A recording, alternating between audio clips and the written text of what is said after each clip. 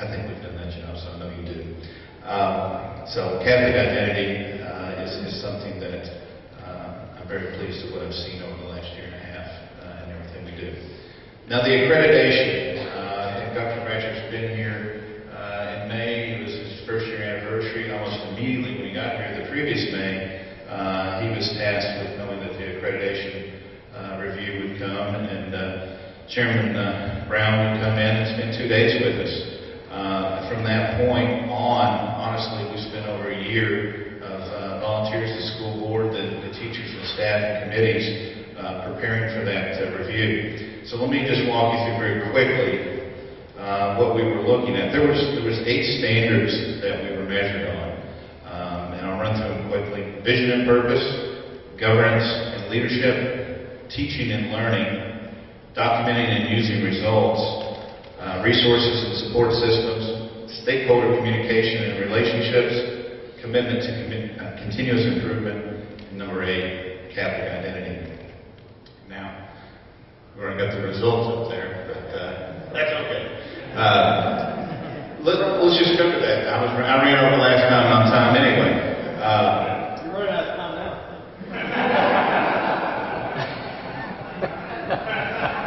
I've got nothing. Uh, the areas that we were, we had the option of being ranked on, they were looking at highly functional, operational, emerging, and not evident.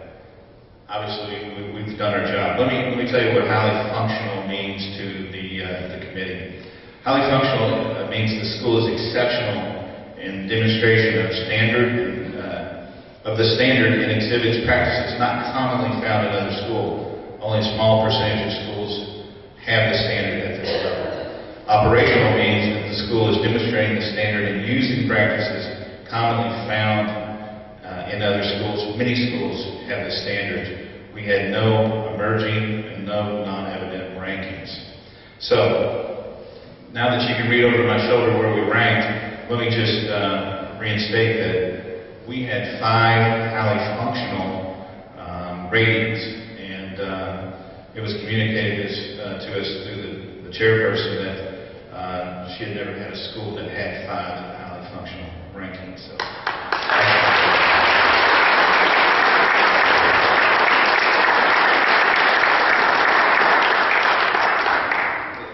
And, and, just keep in mind, it's, it's, it's from them, it's from the top, uh, both uh, from the pastor to the principal to the teachers and volunteers. Um, let me share a couple of things too. And, and, you know, they, they had a nice commentary that they commented on every good thing they saw over, the two uh, period, uh, we really never get out of this meeting. So uh, let me let me focus on what they formally uh, uh, gave us con- uh, con- excuse me commended us on. Number one, excellent planning is evidence from the school plan to professional growth plans reflecting both vision and mission. They were very focused on vision and mission and gave us very high marks.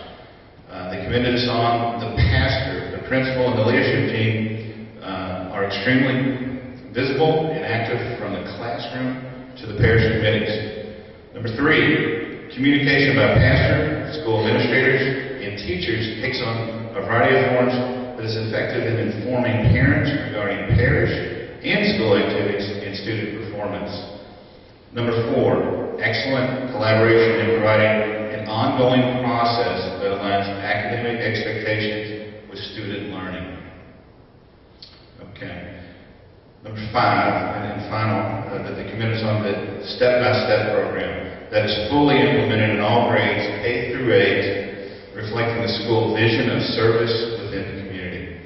So I think that that's an outstanding uh, uh, list from, from this committee. Um, and, and I can tell you, uh, they, they were rigorous.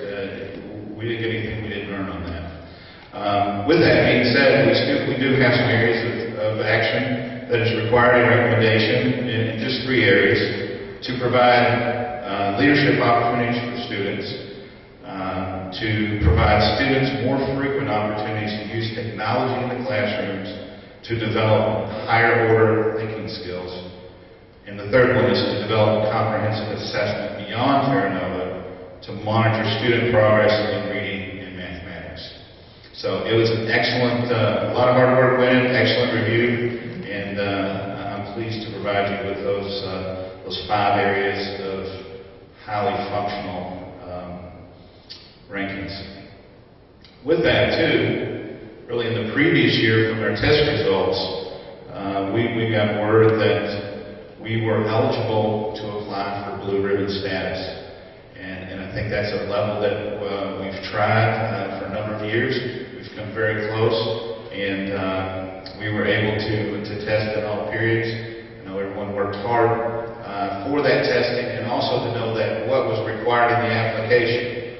Um, so I'm pleased to, to, uh, to announce that uh, end of this month, November 30th, we'll be sending our applications to the U.S. Department of Education in Washington, D.C., and we should uh, find out early next year uh, as to uh, acceptance of that application, and uh, hopefully we'll, we'll have the blue ribbon status uh, uh, all within uh, our communication and with our school and have that designation. Um, Got some information on technology. Dr. Brescia, you want to speak, or you want me to take care of that? Okay. Let let me just, let me, let me try to think what he was going to say. Uh, Technology is a, Go up there.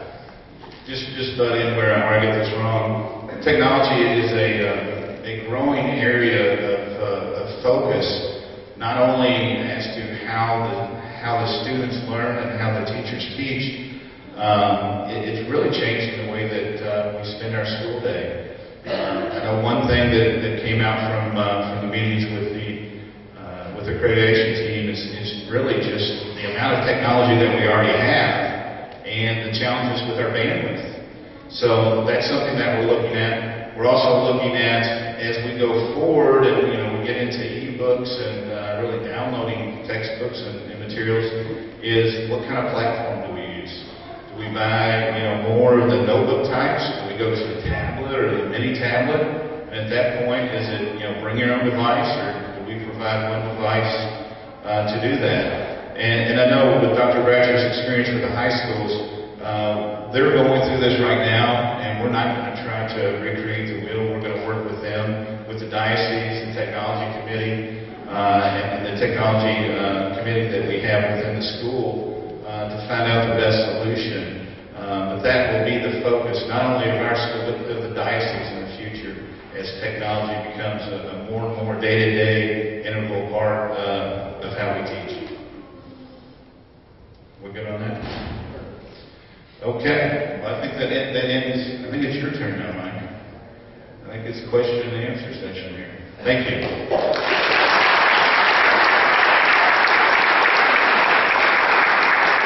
Well, hopefully, as, as you listen to the presentations tonight, uh, just kind of phrase that jumped into my mind is God's been good to our parish. Some phenomenal things are happening. We're not perfect. We've got room to grow. We've got areas we're focusing on, focusing on. But I think what's exciting for me is, Father alluded to this, mentioned it earlier. I feel God moving in the parish in so many great, wonderful ways, from from a shepherd standpoint, from a leadership standpoint, from the uh, from the deacons to the staff to the council. I mean, just a lot of wonderful things are happening, and I hope you take that away uh, tonight uh, as you talk with other people in the parish, as you meet with them, as you invite other people to come into our parish to experience that as well.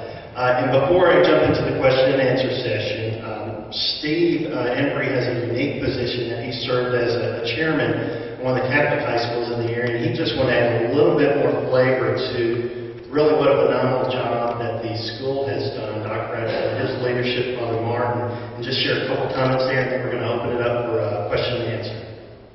Uh, Thanks, Mike. I I was just, uh, I- heard this report uh, from from Cliff and and Dr. Bratcher before.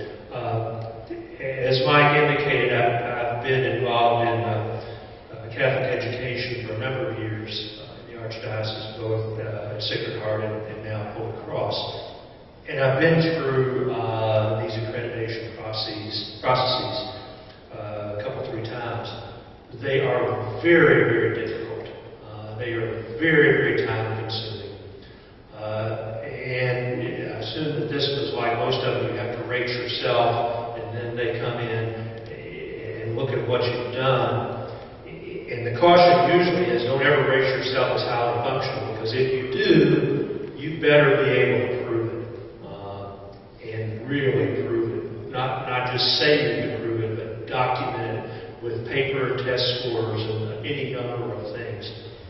To get, uh, I was thinking as, as Cliff was going through this about the, the, the parable, it's probably easier for a camel to get through an eye of a needle than to get this many highly functionals uh, on an accreditation. And I couldn't help but think, well, what a wonderful team we've got with, with Cliff and the school board and, and Dr. Bratcher. It's, it really is a phenomenal accomplishment, and they really should be applauded and recognized for it. So. Thanks, Um, So with that, I would like to open up with questions. Eddie, did we uh, collect any on any note cards throughout the evening? All right, there's one over there. I think we got a few. The good-looking guy back here is collecting the questions for us. I don't have a goatee though. All right, uh, this is not in order of priority, I'm just going to read them off as we, uh, as we, uh, as I get them, and I'll ask for the, uh, the staff and the uh, council to help. I can't answer all the questions. All right, the first one says, will the gym ever be utilized for school tournaments such as basketball and volleyball? Uh, Is that going to fall in your area, Tim?